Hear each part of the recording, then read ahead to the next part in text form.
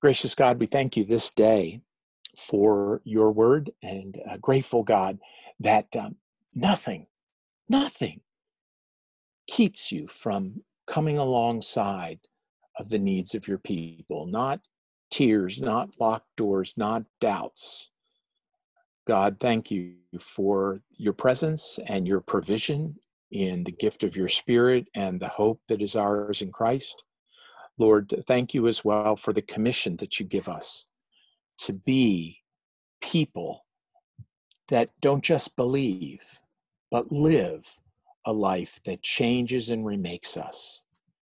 God, help us to be the hope for a nation that is caught in fear, that is caught with, with deep scars and wounds. May we be the hope that it can be found in Christ for we ask it in his name.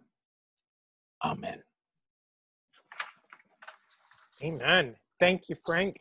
Um, as I end our Facebook stream, if you want to bring up the PowerPoint presentation. Sure.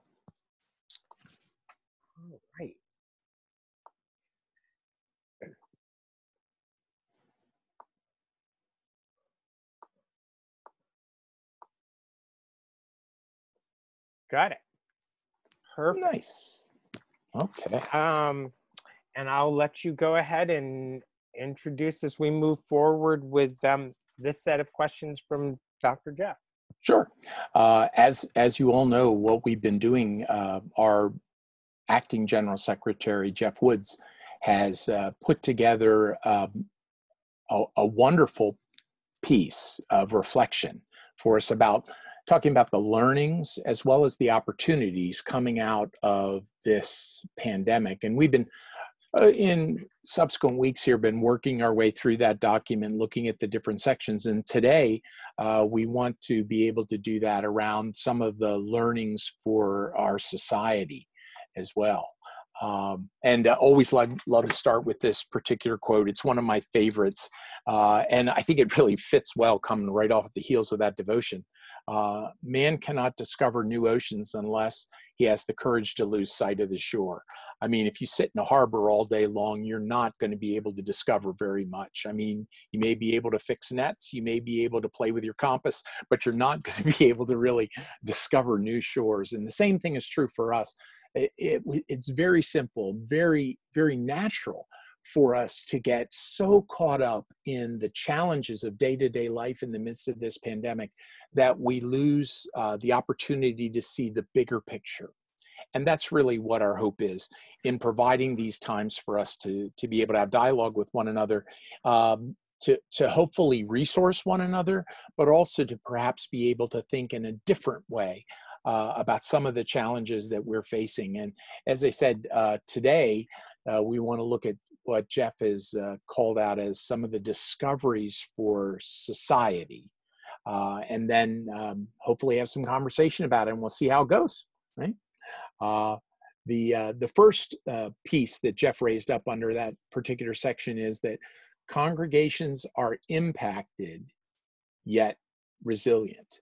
And he says the following he says congregations with no available expertise and pent up resistance towards streaming worship services have done just that. While larger congregations already had the production equipment for an online presence, smaller congregations with little or no equipment have engaged their members electronically as well. The sampling of worship services that I, Jeff, view each week have grown in quality and the ability to connect with participants. Most congregations are reporting increased attendance. Some reports are fivefold of previous numbers. While church buildings remain closed, the church itself expanded. For many congregations, given, giving has remained at a sustainable rate. Not all impacts, however, are positive. While 81.2% of U.S. congregations have been able to launch an online worship service, according to the Pew Research Center, that means that nearly one in five churches have not been able to do so. In terms of giving, a survey conducted by the National Association of Evangelicals showed that 65% of the 1,000 congregations surveyed had seen some decline in giving since mid March. Overall, 34% of churches have seen a drop of 10 to 30%. 22% have seen a drop of 10, 30 to 75%, and 9% have seen a drop of more than 75%. Churches with substantial income through retail space have also been highly impacted. And so coming out of that, the, the question to be asked is, how has your congregation displayed resiliency during this global pandemic? And uh, as you're, as you're thinking that, and as Mark kind of open up the, the microphones, uh, we certainly have seen it. Holy cow. Uh, we have, have just been amazed by the resilience of congregations. I mean, we talked to you about streaming stuff I mean, ad nauseum for many of you in the you know coming months up to this pandemic, and we got often kind of a stiff arm that folks were like, nope, our folks will not go for that. They will not buy that. And yet here we are finding ourselves uh, with congregations that have done some significant work in the area of online presence and some very creative stuff. And so uh, it, it's just been a real blessing to my heart to see the resilience of leaders and the resilience of congregations. So, any comments, any thoughts around that particular issue?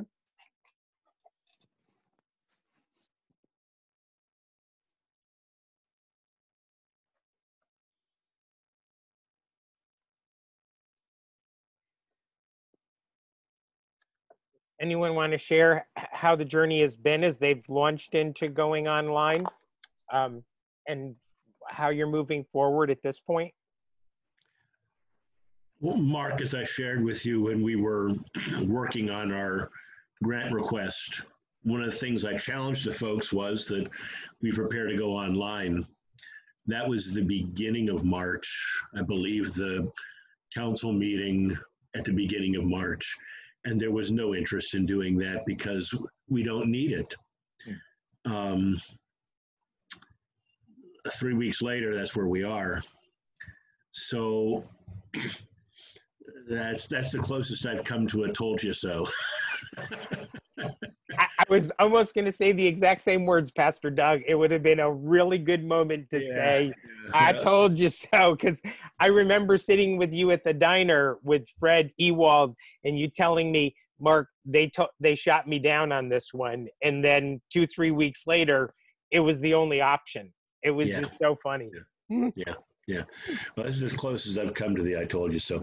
But it's been interesting because folks have actually have, have surely seen the benefit. And it looks like they're even going to be adding a uh, mobile app to the to the whole process. So nice. And thank you, Pastor Ron um, from Victoria uh, from yeah, Victoria Chapel in Springfield. Um, I've had a chance to be in on some of the services. You've really done an outstanding job, um, both with online sermons and with Bible study meditations during the week. You really have done an outstanding job. It's been fun. Others, I don't know first, if anyone, go ahead. At First Baptist uh, Pittsburgh, we've actually been back at the church for the last three Sundays. Um, we sort of are one of those perfect scenarios for trying it out, I guess, because we have room for 600 and attendance of 33. so we can distance pretty well.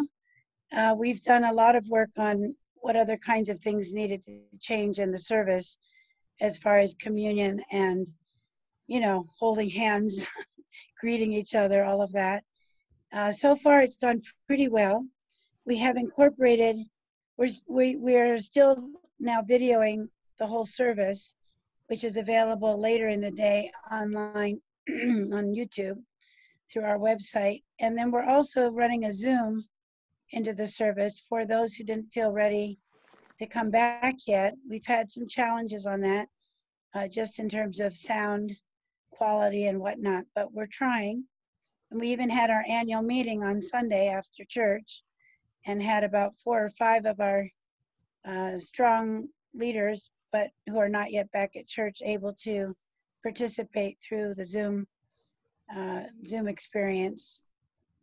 Um, I think that's about it, except to say we've been real blessed during the time that we were off uh, not able to meet in the church with someone who was able to put together um, recorded elements of the service and make it look pretty pretty nice and have it ready for Sunday morning at the regular worship time. And so now we're now that we're back, we're just recording us live and then and then loading it up. But uh, yeah, the people have been pretty. You know, when you consider that we have a average attendance of maybe 50, to have 35 coming back has been pretty good because some of our older folks, as I said, are not ready to do that yet. But we feel like we have not lost um, steam, lost people too much. But uh, yeah, so that's what's going on with us. Excellent. Thanks, Ruth. Thanks, Pastor Ruth. um, also, it was funny. Um, if you were to look on our Facebook page uh, yesterday, I was at the Whitehall Baptist Church for a search committee meeting, and they had on their front sign that they had done parking lot church with an FM receiver, uh, FM transmitter rather, um, and they still had signs up that they were going to continue to do parking lot church uh, drive-in church for anyone who wasn't comfortable coming inside the building. Um, so I don't know if any of you have experienced that or other ways besides um, some of those more complex technological solutions to meeting.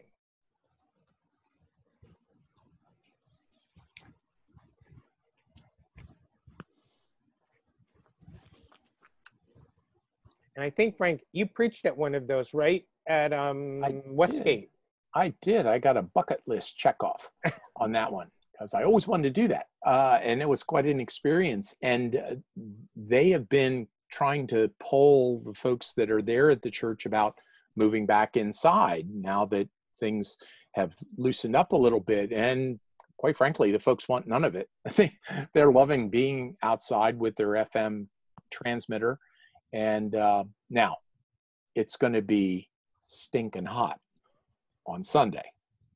We'll see if that changes the tune or if people just run their cars and run their air conditioners uh, during the service. But no, it was a great experience. And I actually even challenged Pastor Zimmerman. I, I said to him, because uh, we talked about his experience, and I said, So, I said, um, next summer, you coming outside again? And he kind of looked at me funny, was like, we haven't thought about that. I was like, hey, why not? So, yeah. Yep.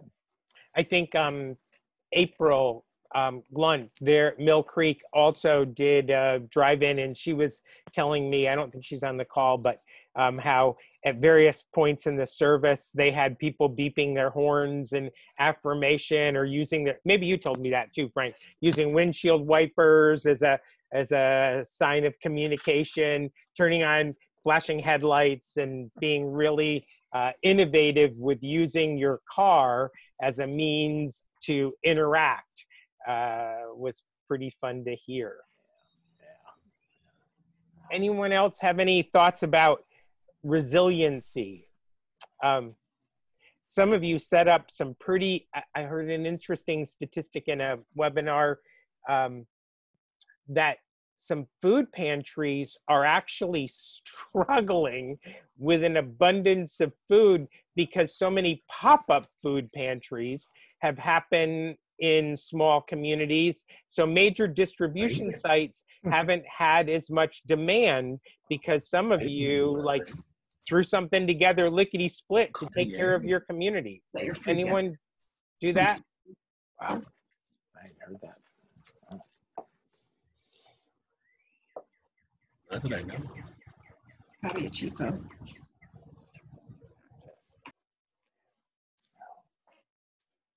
I'll tell you what, Mark, let's slide to the next one then.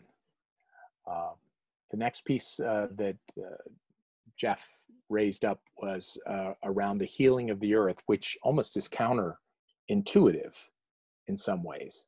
Uh, it, you know, you can see by the slide, is lockdown uh, helping to heal the earth. And, and he, he shared the following. He said, uh, we can heal the earth. Los Angeles recently reported that they're experiencing some of the cleanest air on earth, a fact unfathomable just a few months ago. Cleaner air, rivers, and oceans are all welcome byproducts of this pandemic. While the state of the environment did not prompt the cleanup, we have answered the question of whether or not humans could ever turn around decades of creation degradation with a resounding yes. Will the answer to this question now work its way to the center of our discussions rather than remaining as a byproduct?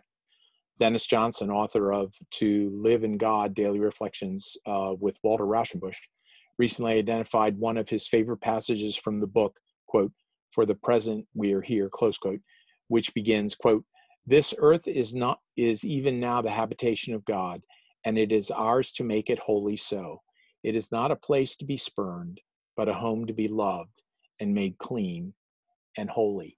And so, you know, coming out of that, again, that's some of Jeff's experience, and I I've seen the the reports from not just here in the United States, but literally from around the world. In some places in China, where uh, you could not see the skyline of the city ever because of pollution, and yet the sky was crystal clear, and you could see the skyline because of the lockdown that this pandemic has caused. So, a question coming out of this uh, how have you experienced uh, a cleaner environment? I could say, for me personally, I think I had the same tank of gas for over a month, and so I know I helped to keep the carbon footprint down um, just by my car sitting in my garage. And uh, Mark and I continue to keep the carbon footprint down because we're not traveling nearly like we did.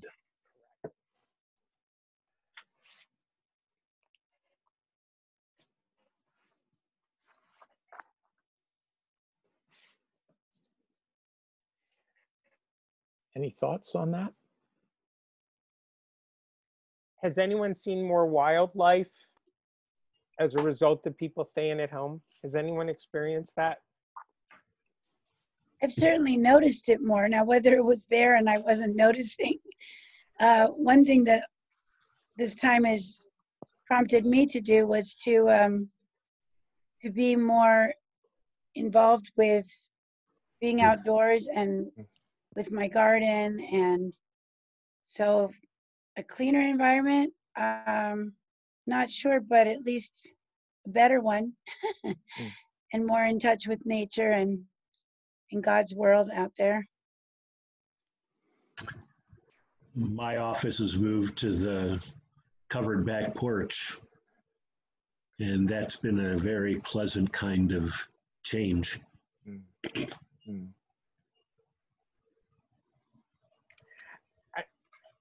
On three different occasions now and not in the same locale. Um, I've had to bring my vehicle to a stop because fawns have been crossing the road and they are just the cutest things. They must have just recently dropped. They're super small. Um, but I don't know if wildlife got accustomed to crossing the road more often. Maybe they would have been there anyways.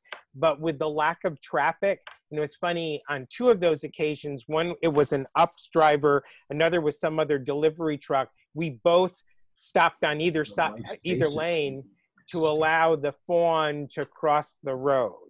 So I was trying to decide, with the lack of traffic over the last three months, if some wildlife just got thinking, so it's a little easier to get across the road. I don't know. Mm-hmm. Well, I find it fascinating too the number of people that have taken up gardening that uh, hadn't done it before. I have my oldest daughter is one of them, and uh, it's been interesting to get text messages from her and say, "So, Dad, how deep do you plant carrots? Uh, you know, do you thin carrot? Right? So, all those kind of questions from a person that I thought never would start a garden yeah, I think that there's there has been uh, kind of a, a side benefit, if you would call it that, is just a, a greater connection with creation, because we you know we were so uh, limited in the amount of travel into it that when we've been able to be in it, like Doug said, to be on your porch is just such a joy. Such a joy to be able to be outside again. Yeah. I know. This is, go ahead. uh, this is uh, David, uh, and I think one of the ways we've experienced that is is the opportunity to discover some different uh, preserves uh, that uh, were not. Maybe, maybe we were. I maybe I was aware of one or two of them that they were there. I had been to once, but hadn't availed taking a walk and um, and you know experiencing creation in that way uh, and and giving that opportunity to my children. Uh, so I think that's uh, because of the of the lockdown and because of the pandemic. You know, getting outside in nature was one of the things we could do uh, and socially stay physically distant from other people. And, and that was one way we experienced it and and uh, saw a lot of other things along the way. Uh, I have to confess, unlike Mark, who was able to stop for a fawn on the way to one of these nature preserves, there was a snake crossing the road, and uh, I, I, did not have time to stop my van and die. and uh, snakes don't slither across the road; they kind of jump across the road. Um, anyway, so I felt really bad for that, but then I thought, well, it wasn't there when I got back, so I guess a turkey vulture or something, some kind of scavenger had lunch. So gotcha. I, and I, I've heard, I know uh, Pastor Rob Rice has mentioned Pastor Randy Powell taking their kids on hikes as well, um, Pastor Dave, and having a great time um, enjoying some of the either parks or preserves. Yeah. Good, Right. good. This one, this one, when I when I read it, when I first received Jeff's um, monograph, I just sort of smiled to myself and said, "This is so Jeff," because Jeff is a statistics kind of a guy. He's just uh, it's talking about mammoth nodes, and uh, I absolutely have to read his comments for us to be able to even talk about what it means. He says nodes are points of connection. They may be individuals, groups, or organizations. Several years ago, I pored through the predictions of Albert Laszlo Barabasi in his book Linked How Everything is Connected to Everything Else and What It Means for Business, Science, and Everyday Life. And I've recently watched many of these things come, through, come true. In his book, he describes how certain nodes have the potential to become gigantic because so many nodes pass through the same connection link with one another. Companies like Google, Zoom, Chegg, and Amazon are fulfilling Barabasi's predictions. While the stock market has seen steep decline, some companies have grown in capacity during the pandemic. A portion of the growth is based upon the organization's ability to attract constituents, especially during crises. This theory has also has implications for congregations. It does not mean that smaller congregations are doomed but it does mean that larger congregations and organizations have some built in advantages during times of crisis. Laura Everett of the Massachusetts Council of Churches expressed this fear quote, I'm terrified that we will come out on the other side of this and there will only be wealthy churches. There are wealthy congregations with strong financial reserves and the ability to survive even COVID 19. Then there are smaller, struggling churches whose members now and in generations past have been held back by racial and economic injustice. And the question, and it's uh, kind of a multi layered one one, both in society in general, but then also kind of trying to grapple a little bit with some of those comments that Jeff made around the, the impact upon the church. What groups in your community have been able to grow even during this pandemic? And I think we've all said, right, man, I wish I would have invested in Zoom. if I'd have only known. Uh, so, uh, what what groups in your community have been able to grow even during the pandemic? And do you do you agree with some of the comments made about um, larger churches and smaller churches in the midst of this? I'd be interested to hear that. Hear your thoughts on that.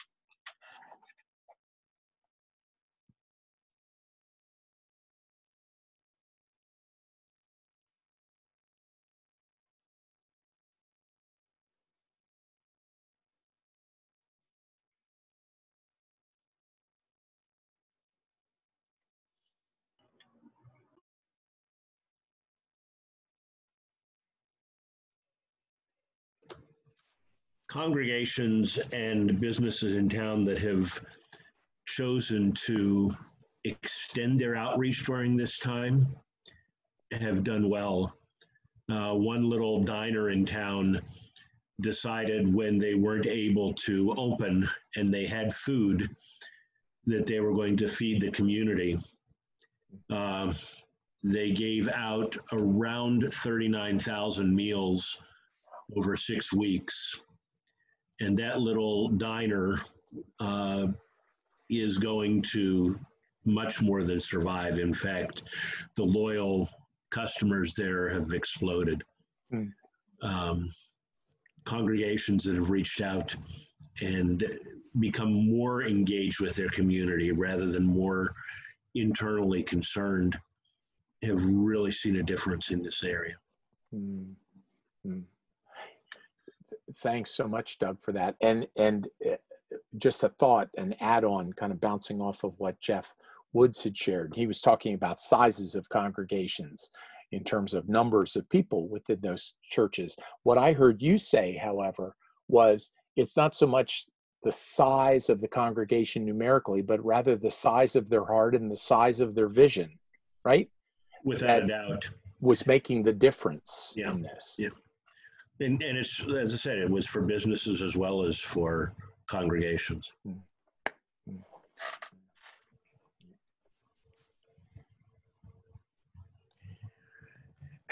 I think, you know, past um, Ruth had spoken to this earlier, but some of our congregations that are smaller were a little more nimble and able to adjust faster um, and try some things. And it's also a little easier to resume when you're a little smaller and your space um, allows for distancing.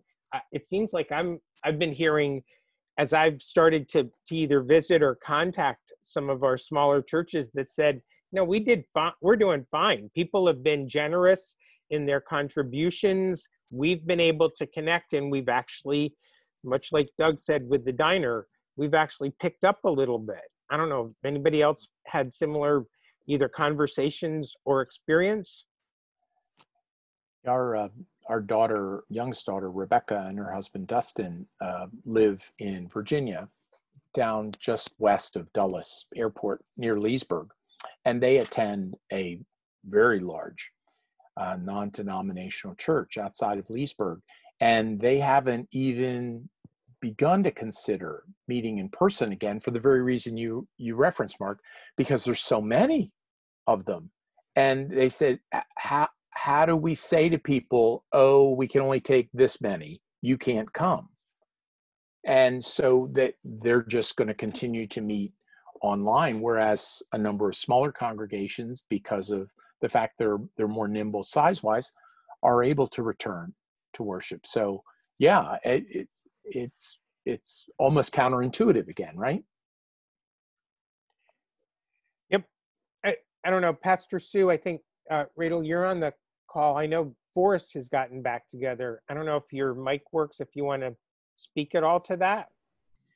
Uh, sure. we have um, been in the building now since May 31st, and uh, to be quite honest, um, it's a mess. It really is. This has been the biggest challenge um, I've ever had as a pastor.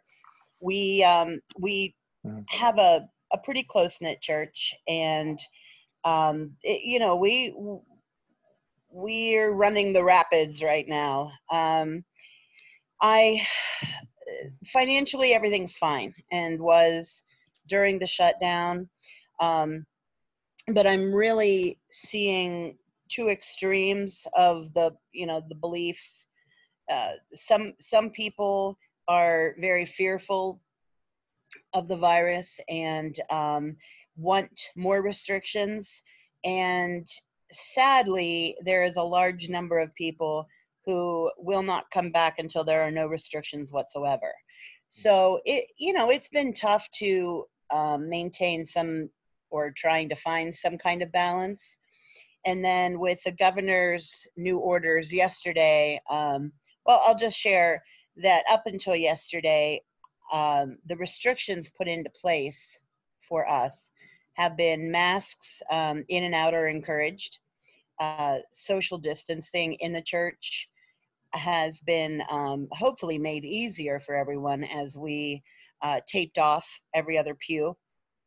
Uh, we are not sharing any food. There's no coffee pots, a very limited surface areas. You know, we tried to do all that so people can just come and worship and leave.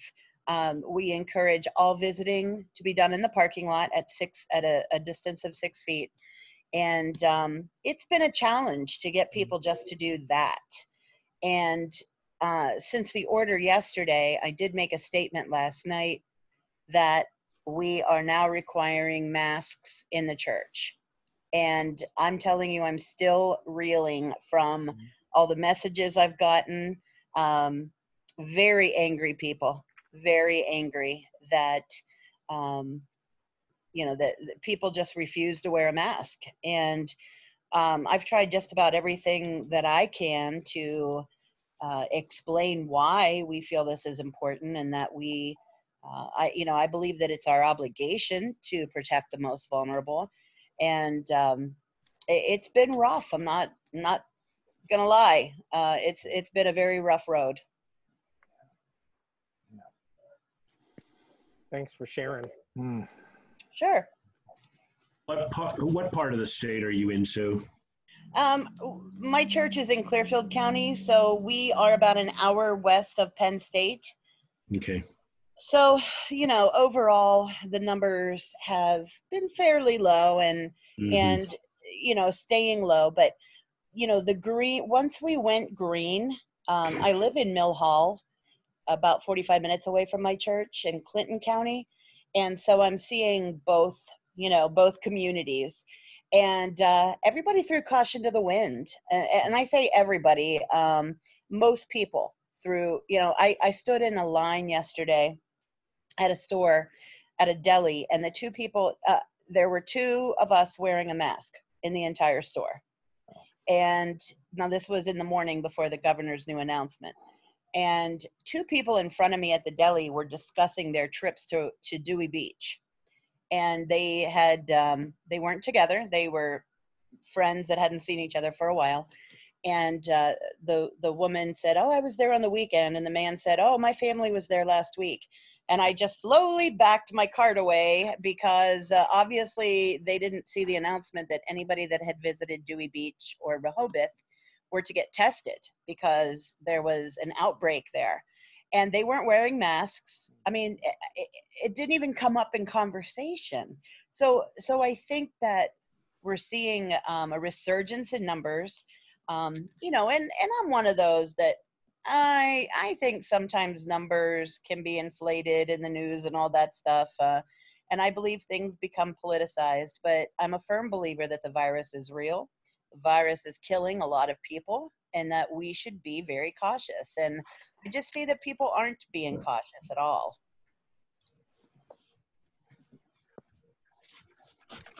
Thank you.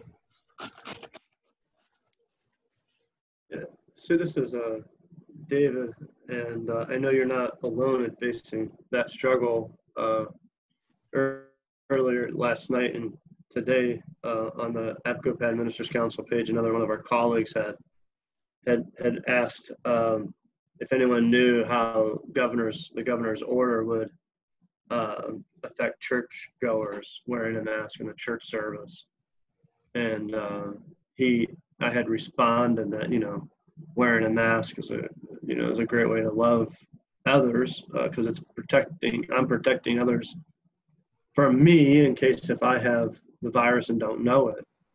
Um, and, and he just responded that out in rural pennsylvania you know there are people who will not wear a mask and would stay home rather than comply with the order. Um, and and he questioned about you know how do we meet spiritual needs when the church is splintered over things like masks and physical distancing. And uh, it's a very challenging uh, place to be uh, with that. And, and I had just responded to him that I, I heard that challenge and encouraged him that this was maybe an opportunity to try to reframe it away from the politic, politicization of it to how how we can um, you know practice our spirituality by loving our fellow church members and and I think has been brought up another time on this call the First Corinthians passages things may be permissible but they're not, not beneficial always so uh, I'll uh, keep you in prayer and others that are facing that uh, challenge uh, with people uh, in your congregation and, and that difficulty. Thank you. And I think even beyond uh, the straightforward COVID issues, as uh, the epidemic of racism becomes more and more uh, obvious, it's also becoming a wedge issue in congregations. Um, had a long conversation today uh, about how do you, how do you balance all that? And Frank, maybe we want to move to those slides because I think that's a good segue to. Yep. Do you want, Mark, in your thought, do you want me to move to the one on injustice, I think racial so. injustice? Both Why don't we do that? Because it's, we've only got, what, it's four o'clock now. Mhm. Mm, Let me get the thing back here. So let me slide to that, to the last one. And I think the topics are linked. So Yep, I do too. Um, and again, one of the learnings that Jeff had mentioned. Now, remember, this was written prior to the incident with George Floyd. So this Wow. was prior to that that Jeff was was uh, lifting this up, because as you remember, there were higher uh, cases amongst African American community, and there was also the issue of um, blaming Asians for the virus. So um, that's kind of lays at the at the foundation. But you're you're right, Doug. I mean, th- there are other other issues that certainly relate. So let me quickly read this, and then we can chat about it. Um, a pandemic has the power to shed light on both the courageous and inspiring, as well as the cowardly and disturbing. In a mm. recent study, the CDC found that 45% of in- individuals for whom race or ethnicity data was available were white, compared to 55% of individuals in the surrounding community. However, 33% of hospitalized patients were black, compared to 18% in the community. In terms of causes, they further report that, quote, health differences between racial and economic groups are often due to economic and social conditions that are more common among some racial and ethnic minorities than whites. In public health emergencies, these conditions can also isolate people from the resources that they need to prepare for and respond to outbreaks. Close quote. Yet, minorities are also disproportionately on the front lines. Hispanic people form 53% of the agricultural workforce in the US, white, while Black and African American individuals make up 30% of nurses. Historic efforts of prejudice and discrimination have been aggravated by this global pandemic. A recent ABC USA press release also highlighted other forms of racial injustice. Quote, many Chinese as well as Asian Americans who are mistakenly perceived as Chinese have been harassed and even physically attacked. The resurgence of xenophobia in this time of coronavirus has no place in the United States or even around the world, close quote, says the Reverend Florence Lee, ABHMS's national coordinator for Asian ministries, which is part of the ABHMS Internet Intercultural Ministries. Quote, we stand with our Asian American communities and encourage followers of Jesus Christ to reflect on the Apostle Paul's teaching of 1 Corinthians 12, 13. For in the spirit, one spirit, we were all baptized into one body, Jews or Greeks, slaves or free. Um, and again, that was that was what prompted the question: What racial disparities have you been made more aware of as a result of COVID nineteen? And those are certainly true, and we you know we've seen that evidence.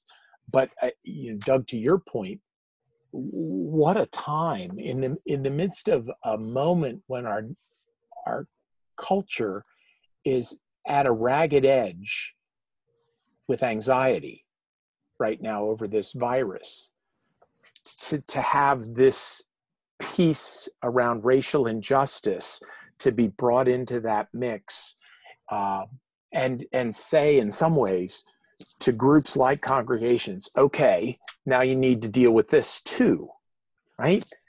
Is um, just overwhelming. Um, and um, Pastor John um, Harris, I, I don't know if your microphone is working, but I know you pastor a, an African American church relatively close to Philadelphia, um, which has been a hotspot. Do you, do you want to speak to this? How has this impacted your church? And I, again, I don't know if your mic is working. Sorry if I'm Yeah, calling you out. no problem.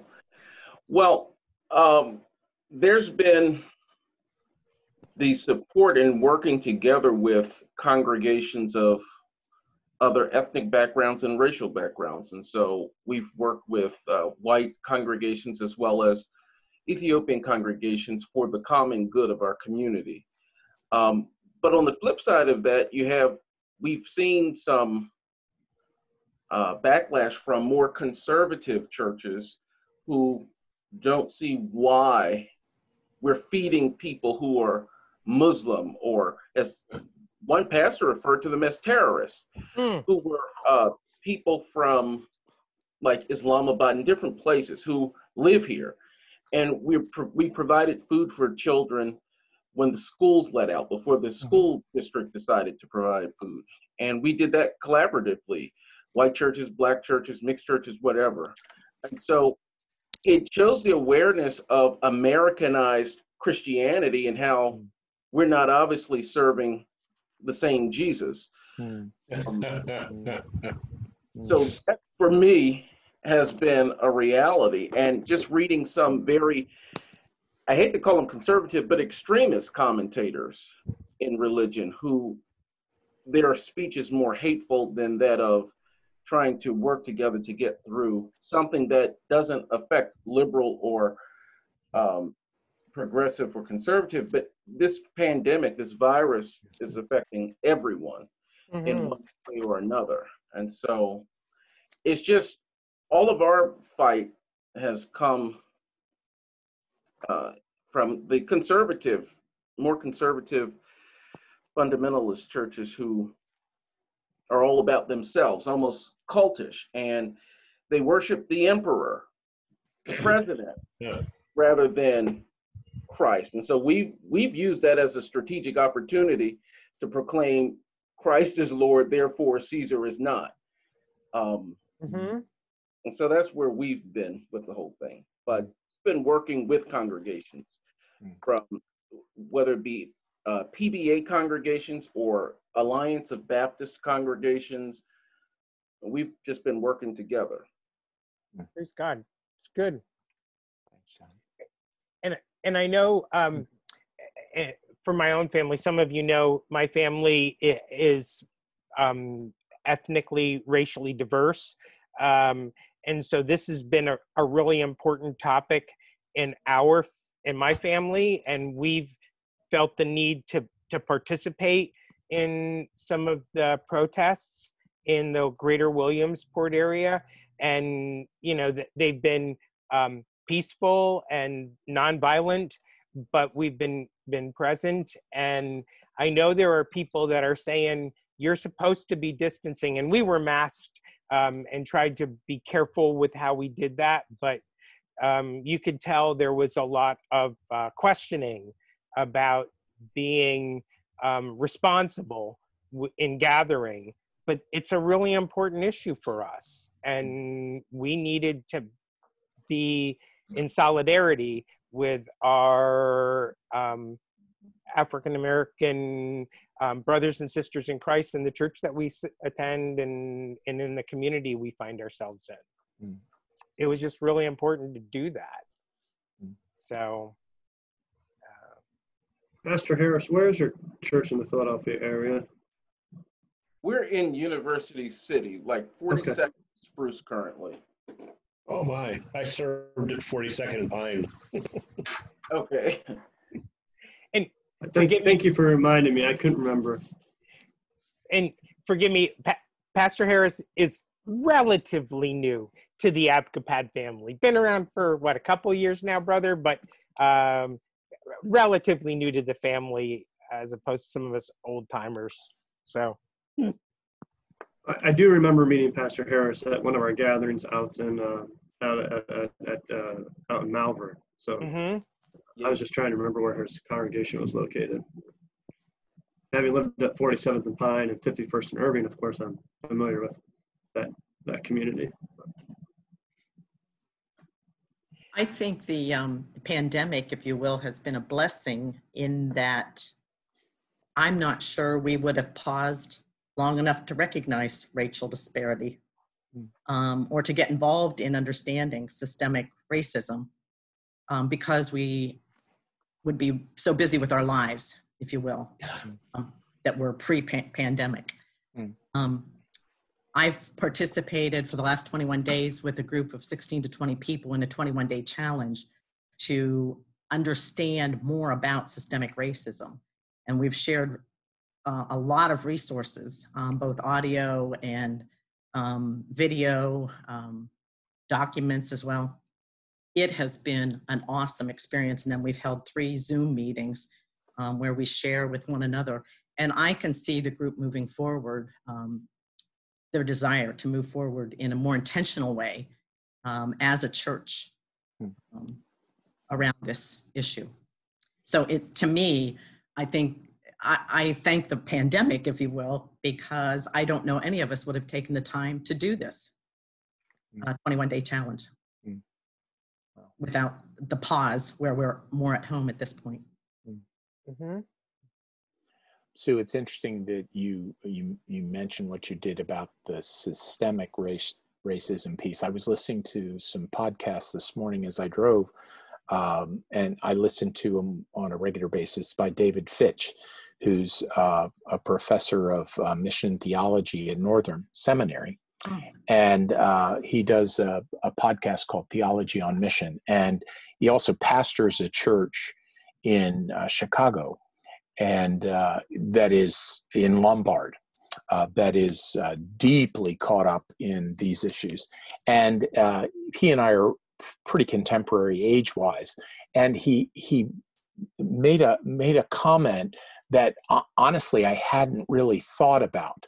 He he said that for many people that uh, grew up in the 70s and even the 80s he said there's a there's a, a, bifurcation when they think about racism and they often think about racism as a personal matter and that uh, they kind of define it and go well i'm not racist personally so ergo racism in my world does not exist. And what mm-hmm. fitch was saying was well there's a, there's this whole other component to it that often doesn't get grappled with, and that is the piece that you referenced, the systemic racism, and the fact that you know, for for all of us, we have grown up in a in a culture that has acculturated us with issues of racism, uh, and the, for us as the church, we need to to be able to grapple with both of those realities, and those that are in, in an Anglo setting,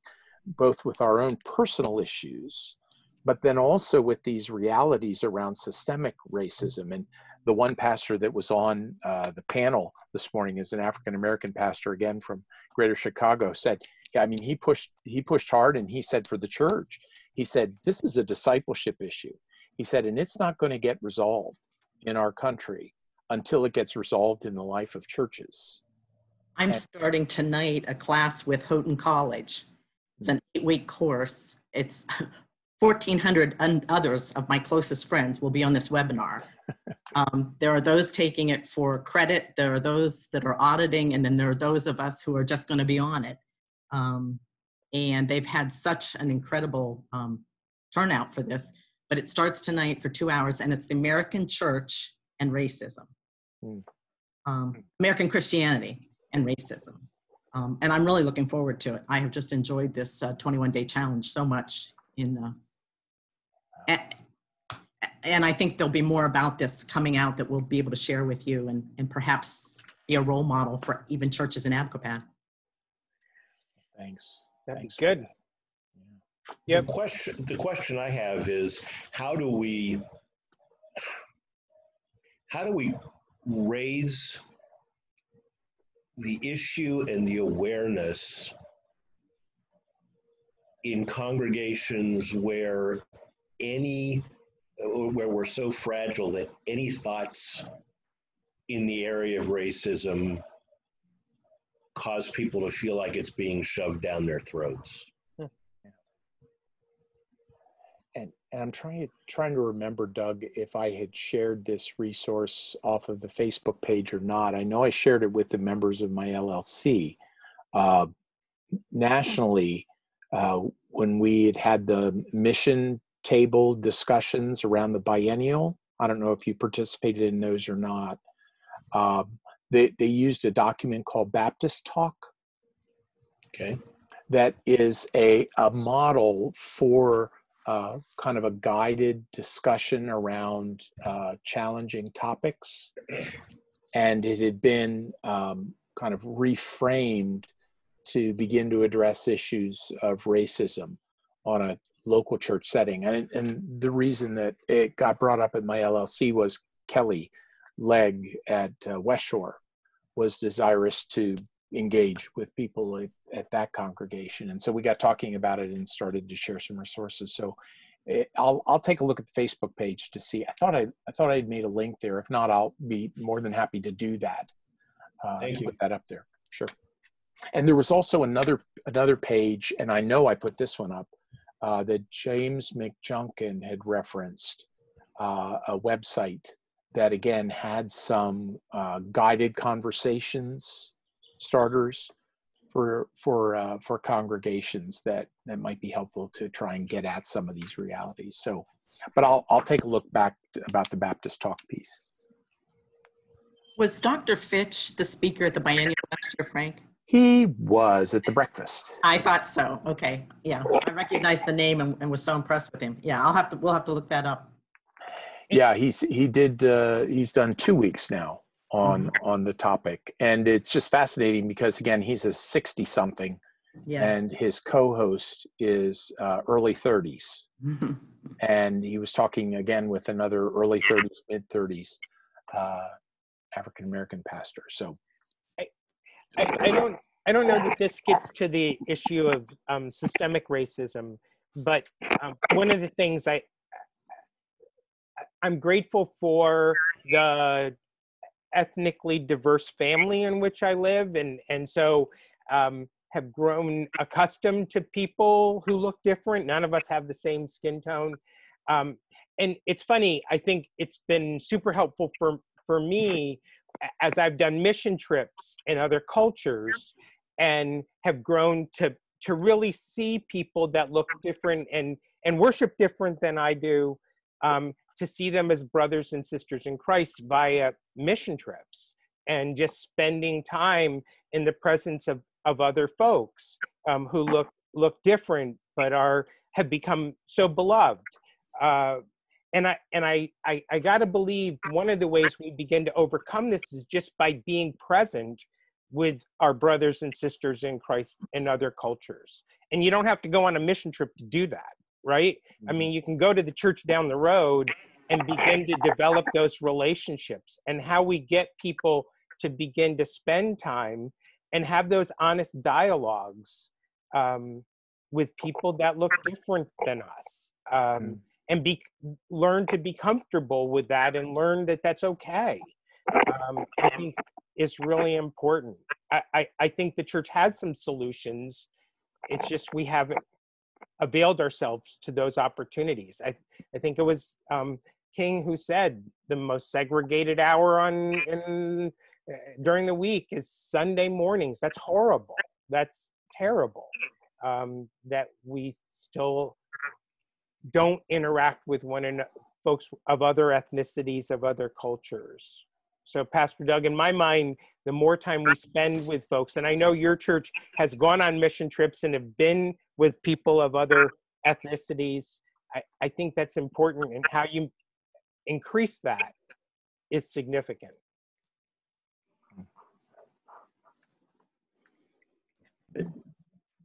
Thank I'll you. just share, share, Doug, I think, you know, one thing is to um, you know, I know my job is to listen uh, when it comes to understanding um, racism and systemic racism. And in order to be able to listen, I have to do the spiritual work to drop my defensiveness and uh, this term. I haven't read the book, but white fragility. Um, so you know, that's one way to help people. Uh, be, you know, those that are feeling like it's being shut down their throat, right? Like, kind of go at it from the flank, right, instead of attacking it directly. You know, um, talking to them about these other other practices that need to be brought in there because that's what for my journey towards being an advocate for racial justice and, and addressing racism is is that I, I've had to learn to listen.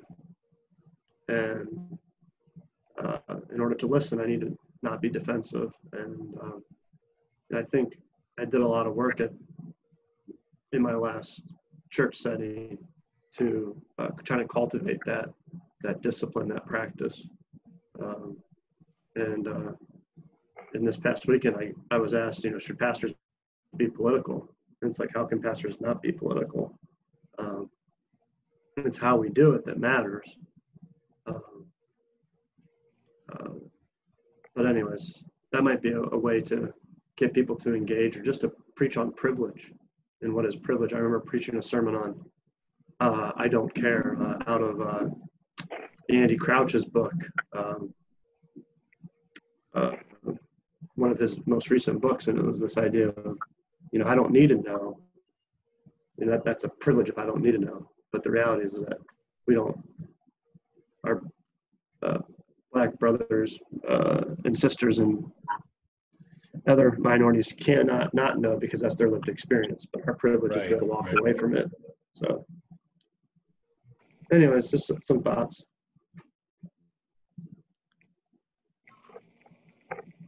I just want to say quickly um, that book, uh, White Fragility, actually, I'm in the process of reading it now.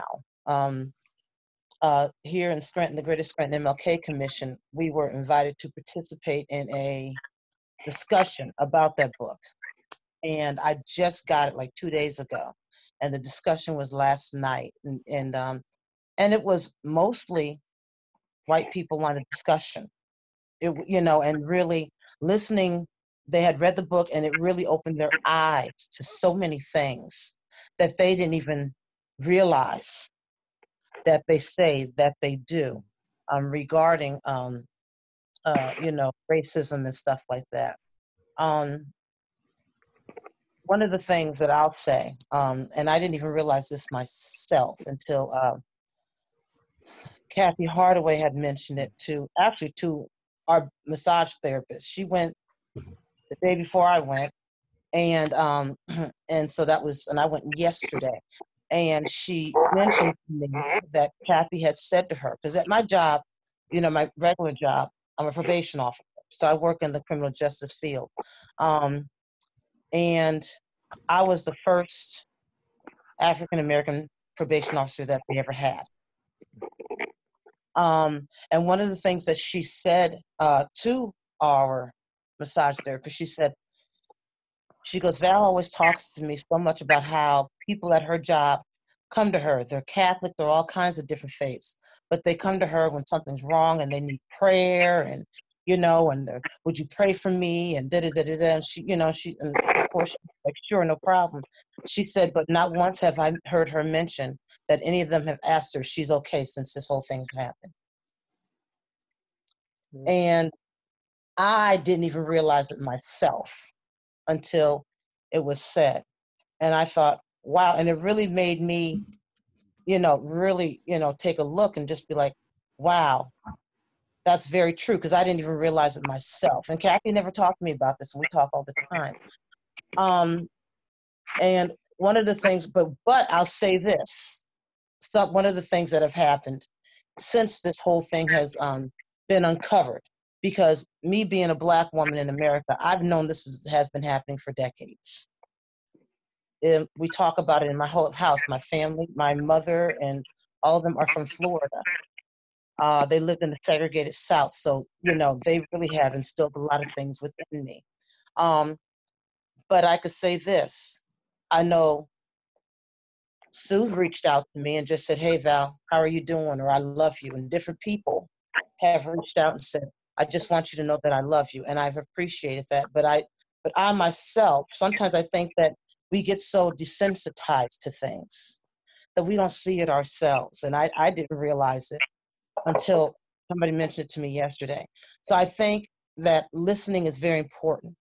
It's extremely important, and trying to learn and trying to get a better understanding um, about racism and what, like like somebody has said, because I don't know who's saying what here because I'm on my phone, but um, like somebody has said, it's something I live with every day. It's something I face every day. The little comments, the little things that are said, the little looks, the little comments. Driving to church, every time I drive to church, I have to walk, drive past a Confederate flag, which just drives me completely insane. And then I have to get my mind and my spirit right in order to walk up into church. Um, so I think that listening and trying to learn and being transparent and not and not being defensive when something is mentioned because if it's if it's grating you the wrong way maybe that's something that you need to look at within yourself. So i just want to say that and i'm glad that we're talking about this. I had no doubt that the region would talk about it um, just knowing the spirit of the people um, but it's going to be a very difficult conversation but it's a very necessary conversation okay and that's all i'm going to say about that Thanks, Fred. Thanks. I I just want to say thanks, Val, for speaking up. I was hoping that you would, and I think that um, you know, as a as a white person, um, I, I think we should be having and starting these conversations by, um, you know, talking to our our friends and our family members of color, and you know, we could start with how are you dealing with this? How are you doing? And then and then um, like the I'm sorry, I wasn't looking at who was speaking earlier. Um, becoming a listener, becoming a student, and and just trying to understand better. And I think doing that a little more. I know that it's up to me, and I feel this way. It's not up to Val to uh, defend herself or explain herself. It's up to me to not tolerate any racism in my um, in my presence. It's about trying to educate people and I've I've done that all my life. You know, I was very blessed with having a family, a, pa- a parents that um, we had people of color in my family growing up, you know, all the time, and uh, you know what a what a blessing that was. So, um, but you know, for women in ministry in our region, um, our Val wasn't able to be on the last call, but before that, you know, I I gave Val um, a lot of time to discuss with, with the other women that were on the call how she's feeling, right, Val? I mean, that was a really. I mean, I'm not. I'm not doing this about. I'm not tooting Yeah, my own horn. I'm saying that this is just one thing that we need to be doing. Val, tell us how you're doing. You know, is there anything that we can do? And and and you know, I I hope that Val felt a sense of love and family um, you know in in that moment. And then we had a um a uh, a, a woman of color join us from philadelphia this time. And um you know it, it uh well that's it's another conversation for another day. But she was sharing what she was um, going through as well. And it was a um, you know slightly different being in a big city probably you know i mean I, th- just from hearing the two stories um, but i think what, that we need to do this with our friends of color and give them a, a, a chance to just share the pain that they've experienced.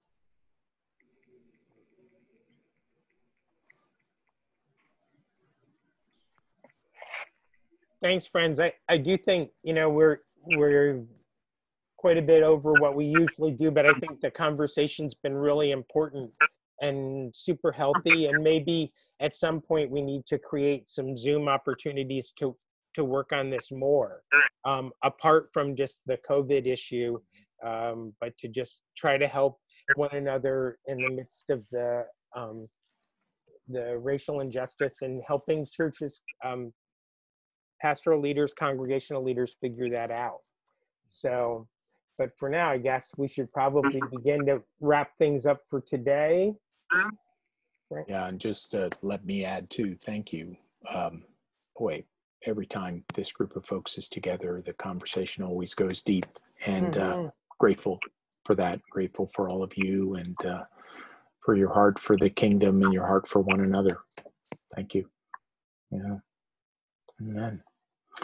All right. Well, I tell you what, Mark, uh, you want to you want to pray us out, bub? Sure. Um, and we're going to make the recording available. I hope to have that up and running at, some point, probably tomorrow morning before taking a little uh, vacation time myself. But um, yeah, thank you to all. Let's pray. He- Heavenly Father, so grateful for these friends, these partners in ministry, for the continued work that they do in their congregations, in their communities, in their families. Thank you, Father, for um, watching over us in the midst of the pandemic and for knowing that you are always present with us, that we can be bold, we can be um, courageous, knowing that you are alongside us, that you watch our every step, and that whether that's the pandemic or racial injustice, that we can have a voice to care for those that are in need, to support those that are hurting, to be the hands and feet of Jesus in the communities and the churches in which you have placed us. Now, Lord, just be with us throughout the rest of this day, this weekend coming up. Um, do, Lord, keep us safe in the midst of the pandemic and help us to be your people wherever we find ourselves. Um, just again, being Christ's hands and feet. In hmm. Jesus' name we pray. Amen. Amen. Amen. Thank you, friends. Thanks.